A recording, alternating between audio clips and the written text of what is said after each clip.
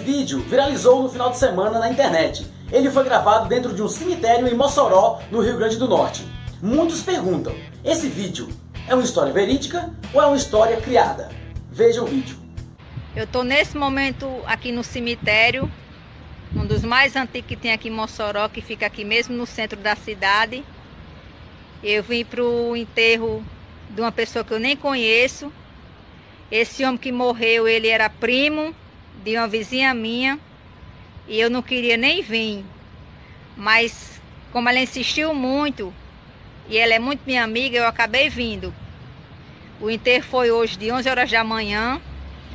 E quando foi já na hora da gente ir embora, que a gente foi chegando perto do portão do cemitério, do nada apareceu uma véia e ela olhou para a gente e disse que a primeira pessoa que saísse aqui do cemitério ia ser o próximo a morrer.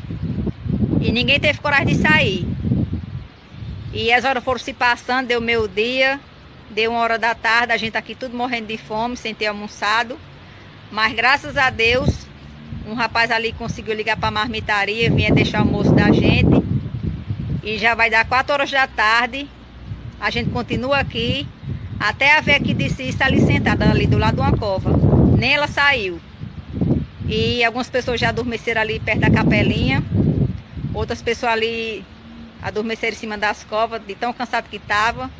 Outras já dormiram, já acordaram, estão ali conversando ali debaixo de, de, de, algumas árvores. E eu não tenho hora para sair daqui não.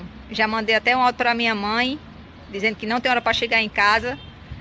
Mas eu creio em nome de Jesus daqui para noite a gente sair daqui, né? Porque alguém vai ter que fechar aqui os portão. E só vou sair daqui depois que a primeira pessoa sair. Essa história foi criada por Laricinha, um humorista de Mossoró. Foi ao cemitério na sexta-feira 13 e gravou esse vídeo. O vídeo que viralizou em toda a internet.